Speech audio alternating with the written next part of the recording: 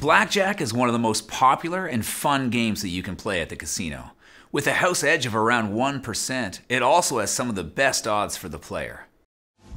In this video, I'm going to explain everything you need to know and get you ready to play Blackjack online. First off, you should know that Blackjack is also referred to as 21, because the object of the game is to beat the dealer as you accumulate cards in an attempt to get the card count closest to 21 without going over. In fact, if you're lucky enough to get dealt a blackjack, an ace, and a 10 point value card, that pays 3 to 2. So if you've bet $10 on that round, you're getting 15 back, plus your original stake, of course. Any other win in the game for the player pays 1 to 1. Remember, you aren't playing blackjack against anyone else, just you and your hand against the dealer's hand. So let's look at how the cards are valued, or the card hierarchy. Cards 2 through 10 have face value, so a 3 is worth 3 points, a 7 is worth 7 points, and so on.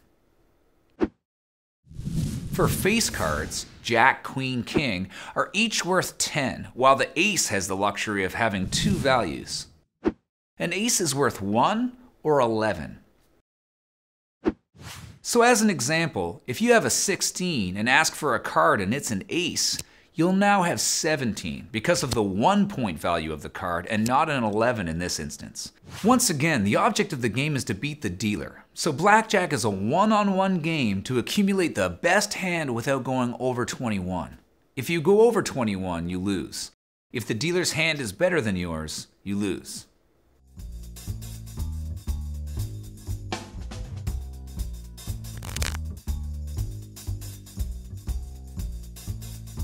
When you sit down to play blackjack at an online casino, here's an example of what your screen will look like more often than not.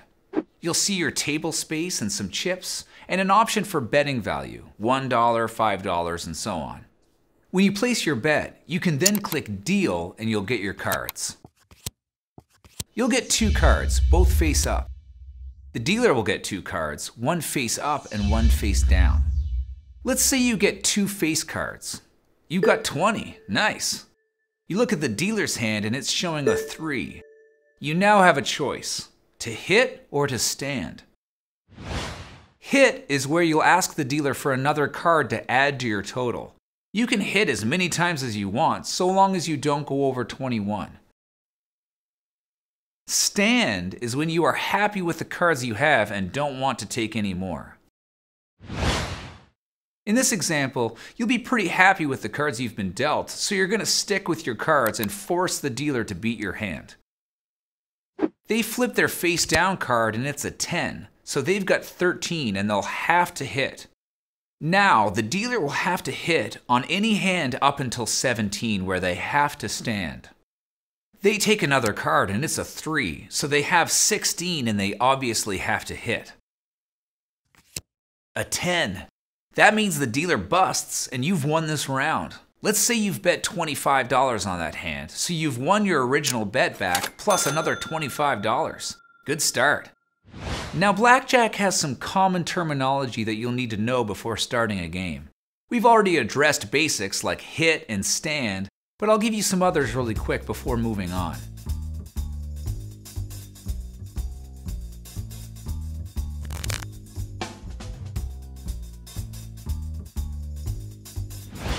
You'll be asked if you want insurance when the dealer's got an ace up card coupled with the face down card.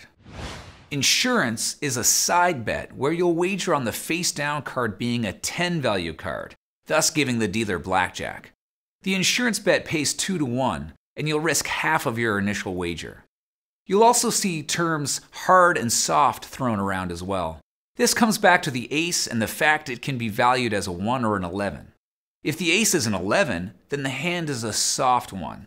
If the ace is a 1 value, then the hand is a hard hand. Depending on the casino, you'll also come across something known as surrender. Surrendering is when you have no faith in your hand beating the dealers after being dealt your first two cards. Instead of playing out of hand, you'll simply receive half of your bet back upon surrendering. For example, perhaps you're dealt a 16 and the dealer has a 10. This looks like a pretty decent spot to surrender. There is some basic strategy you're going to want to know in blackjack as well. Here are a couple of notes to get started.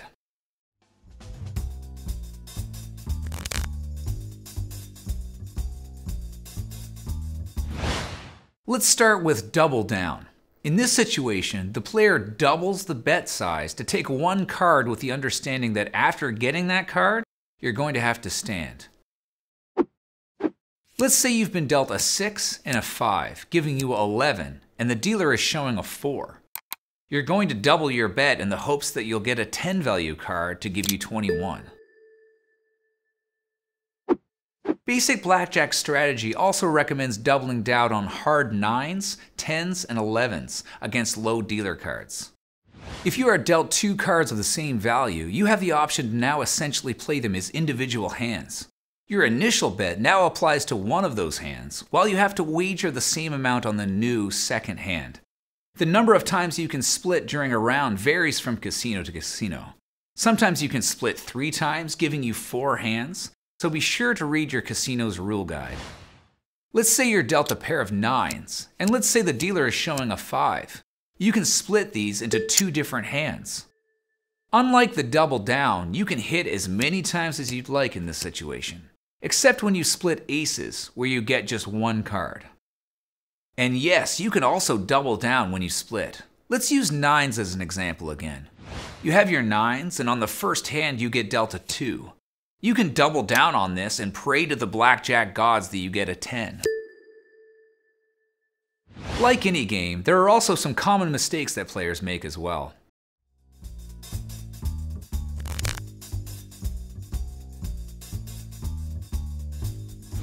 One of the most common mistakes new players make is not hitting on soft 17 or less. Regardless of what the dealer is showing, this is a great opportunity to get a free card because you're never going to bust. Remember insurance? Insurance is not something that you want to invest in. So when you're playing and the dealer shows that ace card and you get offered blackjack insurance, more often than not, just say no. Why? Well, you'd be banking on the dealer having a 10 or a face card, and the probability of that is around 30% so it's not in your favor to have an additional side bet. There is one popular scenario where people will say yes to insurance, however. When the player gets blackjack and the dealer shows that ace and insurance is offered, some players will take it, assuring them of a profit. It guarantees even money, whereas if the player says no, at worst it's a push. This has a 31% probability, but of course, this is a personal preference. Is it a good idea to split tens? Well, no, not really, and here's why. You've already got a 20 hand, and that is pretty tough to beat. Don't break up that 20 and decrease your chances of beating the dealer's hand. Stand firm. The chances of you getting an inferior hand after breaking up your 20 increases. Another mistake people make is splitting fours or fives, although it is advisable to split fours against a dealer's five or six. Don't bother in this situation. Chances are that you're going to wind up with some low or tricky totals, whereas if you stick with those hands and build on them, you'll get something of value. Lastly, basic blackjack strategy recommends hitting on 16 while the dealer shows a high card, a 10 for example. You're in a tough spot here, and if your casino doesn't offer surrender, your best play here is to hit on that 16 and hope you get a small card. Blackjack is fun and it's exciting, and now you're ready to find an online casino to play. To stay up to date on the latest game guides and strategy, be sure to like, share, and subscribe. Gamble Online, the world's leading resource for online gambling information since 2008.